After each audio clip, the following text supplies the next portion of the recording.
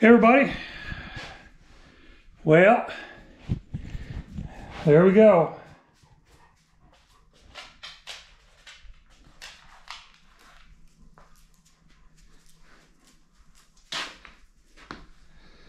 So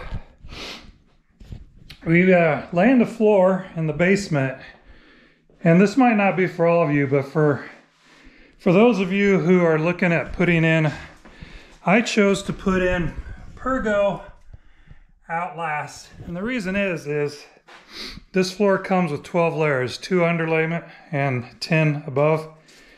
It's been recommended and it's pretty hardy.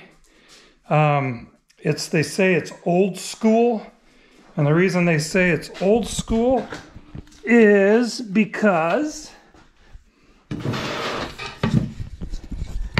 when you're interlocking these, this would be towards your wall, the short tongue. This is the long tongue that's out. Short tongue goes in like this, and you put it in at an angle and press it, see how it goes, and then you let it go. Now, Here's what I want you to know about installing this and I'll get to some of the tools. You will have this gap. So, I'm installing this floor right here. See that? There's a gap. Here's what happens. So you get to this end here. What makes it easy to put, what makes it easy to do this is what I found out is you don't want to push these levels down. You want to keep them up. So when you install the next layer, you just, get this out of here. You install this here. You push that in as tight as you can. That always has to be first. You lay down the board. I can take my hand, pretty much go like that, and you'll see that gap close up. Take your block, give it a tap, give this a tap. You see that gap right there? There's a little bit. Don't think we're going to get any more out of it.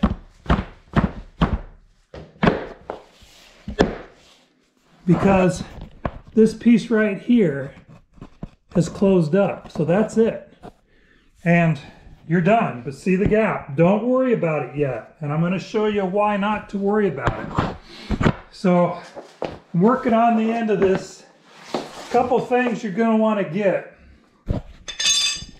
And trust me, you do not want to put in this flooring or any flooring without them. Number one, one of these. These are real handy at going in here and you can hit this with the hammer and shoving the board over. If you do it You'll get used to it. Trust me, you will get used to it. And you won't need to use it as much as you think. But in the beginning, it did come in handy. You're going to want to get one of these. This sucker is probably about, well, I would say it's better than a foot, probably 16 inches long. And the reason is, this is rubber, hard, hard rubber. And they'll tell you, there's other people that tell you too, but they are right. When you hit this, you want to go along and go like that. And that pushes that in, all right? And I'll show you. Like I said, you look all the way along here and see that gap? Don't worry about it. Makes it easier for you to install. So right now, we got an end sheet we got to put in. I flip my board, I flip it. It's supposed to go in this way. I flip it over like this. I put the tab in right to where my, it's underneath my drywall and I go back to here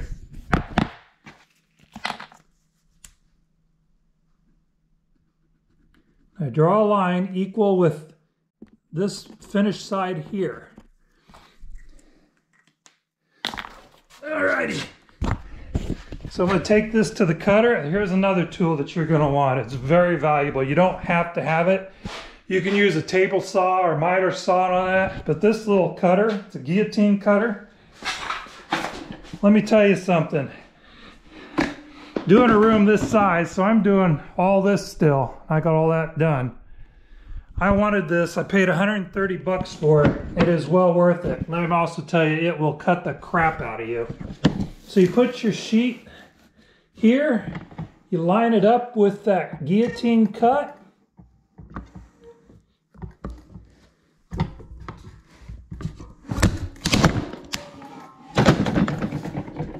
Cuts it off. And yes, basically the piece you just cut off is basically no good. So we go back down to the floor, the wall. I put this in tight here. I like to lay my seams right in the groove of this. So you stick it in, lay this even, and I may be just a little tight here. See. Oh, nope, she went through. So Watch that seam. Do that with my hand. Come down here, tick, tick. Now, here's where I was telling you not to worry about the upswing. So, here's what happens. And I learned this. You put your knee on it and you'll hear it bend down. You hit it in. Turn around. Go back this way. Put your knee on it. Go all the way down the board. Walking on it.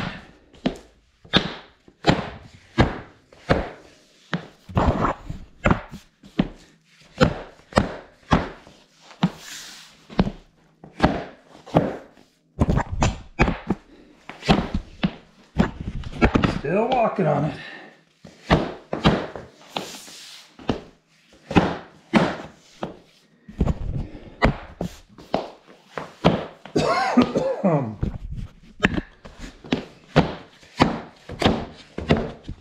There you go.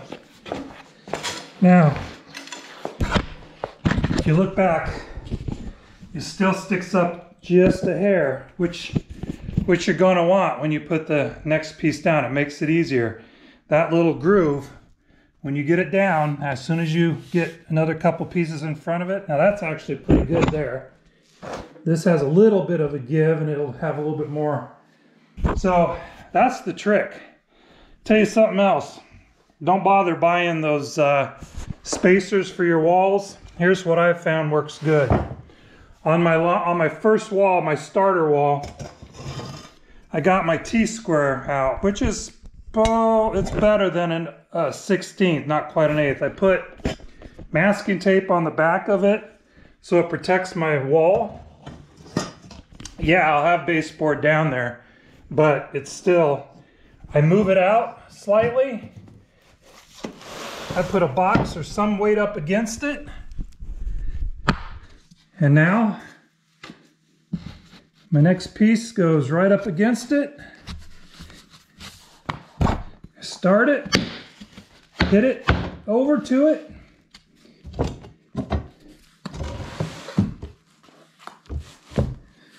And that's how I start the floor. So when it's all said and done, these gaps like this,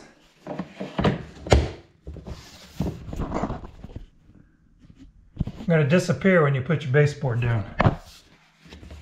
Now, when I put when I'm going to put my baseboard down, because they want you, because they want this floor to be a floating floor, which it is,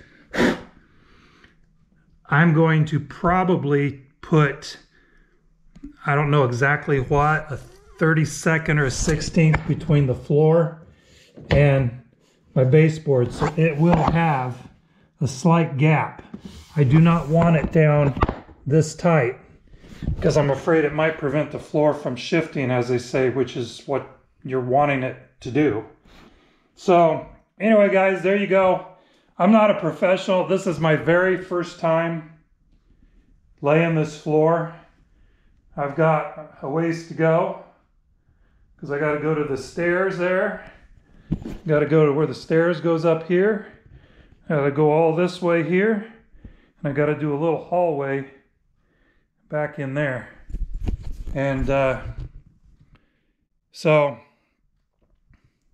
anyway, guys, that's like I said, I'm not I'm not a professional, but it didn't take me long to figure some stuff out. And uh, I can literally put down oh, I can literally put down uh, today, tonight when I got home, I started, I started with this one here. I've been working on it for a little over uh, about 40 minutes and I've got one, two, three, four, five of them down. And I'll probably put, my goal usually is about seven a night. You're gonna want your knee pads. What I've been doing is I've been, before I start a row, I lay out the panels. Say you want to lay out and get your uh, consistency. So here I have what's left, plus I have some over there. So what I do is I lay, I'll cut all these boxes and I'll put, I'll put four boxes lined up across here. And I pick, I pick out of each one. I do not go straight over. I'll pick that piece, put it here, this piece, put it there. You just keep putting them down sporadically so you do not get the same pattern in a floor. So like you can kind of see like this pattern here, it's the same as this pattern here. It has that crack in it. And so you put two, I had two of those, one there, one there. Uh, I don't see right off the top where another one of those would be. So just, just know that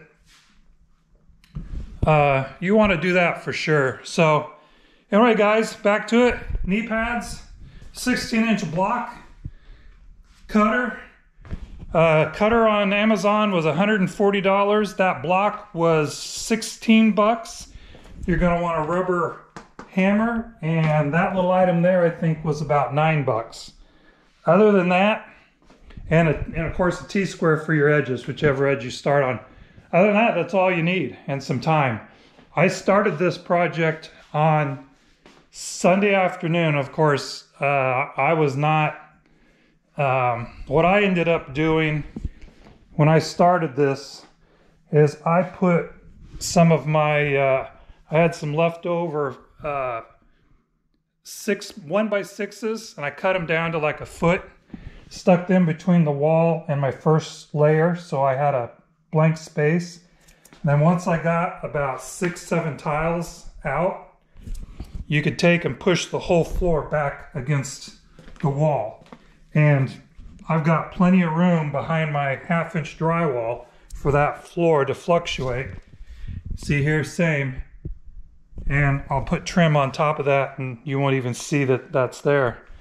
So anyway, very easy. Uh, I, if you haven't done it, don't be afraid to do it. I've never done it. This is my first attempt. Um, not too bad.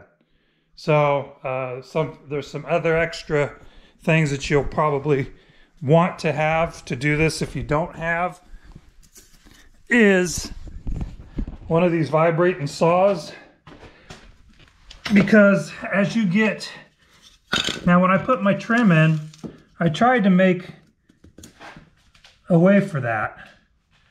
So I think I did pretty good. This one here not looking real good. So I may have to take my saw.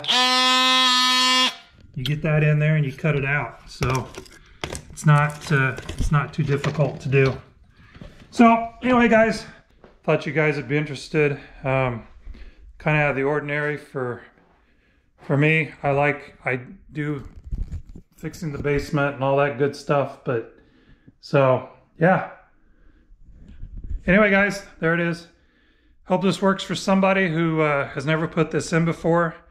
Uh, there you have it. Talk to you later. Bye.